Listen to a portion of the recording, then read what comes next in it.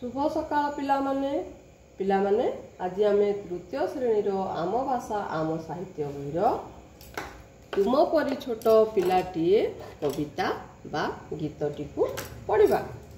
ପିଲାମାନେ ତୁମେମାନେ କେବେ ମଧୁବାବୁଙ୍କ ନାଁ ଶୁଣିଛ?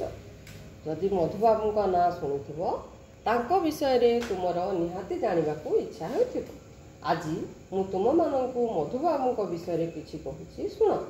ମଧୁବାବୁ ଅଠରଶହ ଅଠଚାଳିଶ ମସିହା ଏପ୍ରିଲ ମାସର ଅଠେଇଶ ତାରିଖରେ କଟକ ଜିଲ୍ଲାର ସତ୍ୟଭାମାପୁର ଗ୍ରାମରେ ଜନ୍ମଗ୍ରହଣ କରିଥିଲେ।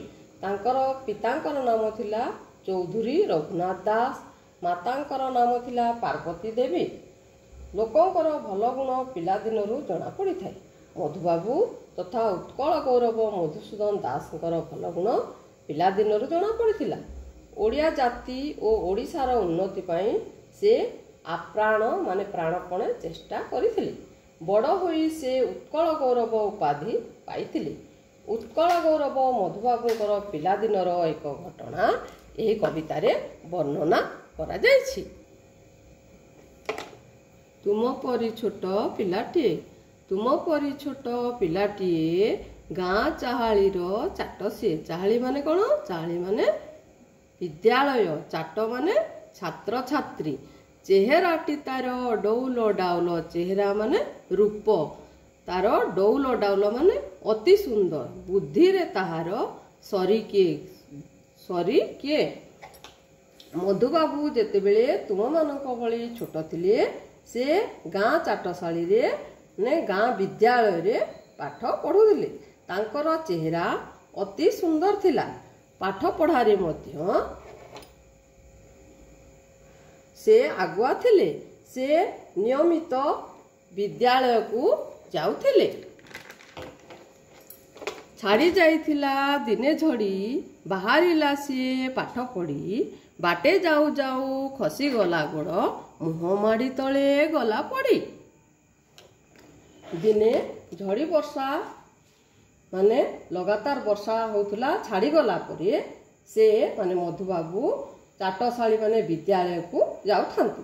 ବାଟରେ ତରବର ହୋଇ ଯାଉ ଯାଉ କାଦୁଅରେ ତାଙ୍କର ଗୋଡ଼ ଖସିଗଲା ଓ ସେ ମୁହଁ ମାଡ଼ି ହୋଇ ତଳେ ପଡ଼ିଗଲେ। ଗୁରୁଜୀ ଦେଖିଲେ ଦେହ ତାର ପାଣି କାଦୁଅରେ ସରସର। ସରସର ମାନେ ଜୁଡ଼ୁବୁଡ଼ୁ। ତିଳେ ମାନେ ଟିକିଏ ହେଲେ ସେତିକି ଖାତର ନ କରି ମାନେ ନ ଡରି ଆସିଅଛି ହୋଇ ତରବର। ମୁହଁ ମାଡ଼ି ତଳେ ପଡ଼ିଯିବାରୁ ତାଙ୍କର ଦେହ ସାରା କାଦୁଅ ଲାଗିଗଲା। କାଦୁଅ ଲାଗିଲେ ମଧ୍ୟ ସେ କାଦୁଅକୁ ଟିକେ ବି ଖାତିର ନ କରି ମାନେ ନ ଡରି ସେ ଚାଟଶାଳୀକୁ ମାନେ ବିଦ୍ୟାଳୟକୁ ପଢ଼ିବା ପାଇଁ ପହଞ୍ଚିଲେ। ଗୁରୁଜୀ ତାଙ୍କର ପାଣି କାଦୁଅରେ ସରସର ହୋଇଥିବା ଅବସ୍ଥା ଦେଖି ଆଶ୍ଚର୍ଯ୍ୟ ହେଲେ। ପଚାରିଲେ ଗୁରୁ ଏ କି ହେଲା? ଏତେ ସରି ତୋତେ କିଏ କଲା? ପିଲାଟି କହିଲା ବେଗେ ଆସୁ ଆସୁ କାଦୁଅରେ ଗୋଡ଼ ଖସିଗଲା ବେଗେ ମାନେ ଶୀଘ୍ର ଜଲ୍ଦି।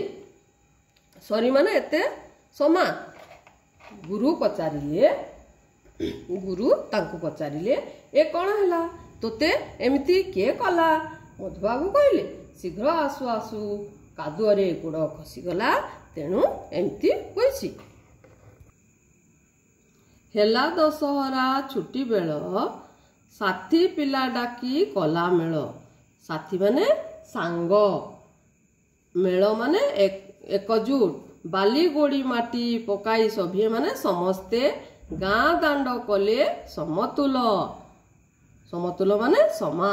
ମଧୁବାବୁ ଦଶହରା ଛୁଟିରେ ସାଥୀ ମାନେ ସାଙ୍ଗ ପିଲାଙ୍କୁ ଏକାଠି କଲେ। ସମସ୍ତେ ମିଳିମିଶି ଗୋଡ଼ି ବାଲି ପକାଇ ଗାଁ ରାସ୍ତାକୁ ସମତୁଲ କଲେ। ସମତୁଲ କଲେ ମାନେ ସମାନ କଲେ। ଏହା ଦେଖି ଲୋକେ ହେଲେ କାବା ଡକାଇଲେ ଗୁରୁ ଚାଟସଭା କହିଲେ ଏଭଳି ଭଲ କାମ କଲେ ଦୁନିଆରେ ଦିନେ ବଡ଼ ହେବା। ଛୋଟ ପିଲାଟିର ମାନେ ମଧୁବାବୁଙ୍କର ଏଭଳି ଜନହିତକର କାମ ଦେଖି ଜନମାନେ ଲୋକମାନଙ୍କର ଭଲ କାମ ଭଲ କରିବା କାମ ଦେଖି ଲୋକମାନେ ଆଶ୍ଚର୍ଯ୍ୟ ହେଲେ। ଗୁରୁଜୀ ଏକ ଚାଟ ସଭା ଡାକିଲେ। ଚାଟ ସଭା ମାନେ ଛାତ୍ରଛାତ୍ରୀମାନଙ୍କର ଏକ ସଭା ଡାକିଲେ ଏବଂ ସଭାରେ ଏଇଭଳି ଜନମଙ୍ଗଳ କାମ କରିବା ପାଇଁ ସମସ୍ତଙ୍କୁ ମାନେ ଛାତ୍ରଛାତ୍ରୀଙ୍କୁ ଉପଦେଶ ଦେଲେ। ବଡ଼ ମଣିଷ ହେବାକୁ ହେଲେ ପିଲାଟି ମାନେ ମଧୁବାବୁ ପରି କାମ କରିବାକୁ ଗୁରୁଜୀ ସମସ୍ତଙ୍କୁ କହିଲେ। ବଡ଼ ହେଲା ଦିନେ ସେହି ପିଲା ମଧୁ ପାରିଷ୍ଟର ବୋଲାଇଲା ଦେଶ ପାଇଁ କେତେ କାମ କରି ସିଏ କାଳ କାଳ ଯଶ ରଖିଗଲା। ସତକୁ ସତ ସେହି ପିଲାଟି ମାନେ ମଧୁବାବୁ ବଡ଼ ହୋଇ ଦେଶ ପାଇଁ ବହୁତ କାମ କଲେ।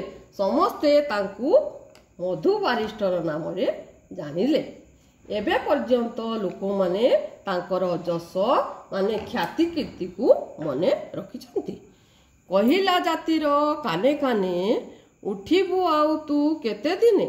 ପୂର୍ବ ଗୌରବ ପୂର୍ବ ମହିମା ପଡ଼ୁନାହିଁ କିରେ ତୋର ମନେ? ଓଡ଼ିଶାର ଲୋକମାନଙ୍କୁ ସେ ମାନେ ମଧୁବାବୁ ଏକଜୁଟ କଲେ। ଓଡ଼ିଶାର ଅତୀତର ଗୌରବ ମାନେ ସମ୍ମାନ ଟେକ ସବୁ ଶୁଣାଇ ମନେ ପକାଇଦେଲେ ଏବଂ ନୂଆ ଓଡ଼ିଶା ଗଠନ କରିବା ପାଇଁ ଲୋକମାନଙ୍କୁ ସେ ଉତ୍ସାହିତ କଲେ। ତାଙ୍କ ଯୋଗୁଁ ଓଡ଼ିଶା ସ୍ୱତନ୍ତ୍ର ପ୍ରଦେଶ ହେଲା। ତେଜଭରା ତାର ବୀରବାଣୀ ନବଜାଗରଣ ଦେଲାଣି ନୂଆ ଜୀବନର ଆଲୋକ ଦେଖାଇ କୋଟି ଜନ ମନ ନେଲା ଟାଣି। ମଧୁବାବୁ ଲୋକମାନଙ୍କୁ ତେଜଭରା କଥା କହି ଲୋକମାନଙ୍କ ମନରେ ନବଜାଗରଣ ମାନେ ନୂଆ ଚେତନା ସୃଷ୍ଟି କଲେ। ଲୋକଙ୍କୁ ନୂଆ ବାଟ ଦେଖାଇଲେ। ଦେଶ ପାଇଁ କାମ କରିବାକୁ ବୁଝାଇଲେ। ତାଙ୍କର ତେଜଭରା କଥା ଶୁଣି ଲୋକମାନେ ଆଗେଇ ଆସିଲେ। ଦେଶ ପାଇଁ କାମ କରିବାକୁ ତାଙ୍କୁ ସାହାଯ୍ୟ କଲେ।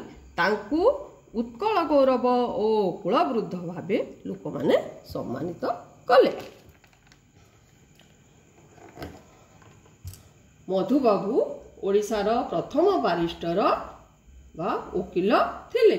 ସେ ଓଡ଼ିଶାର ସ୍ୱାର୍ଥ ପାଇଁ ଲଢ଼େଇ କରୁଥିଲେ। ସେଥିପାଇଁ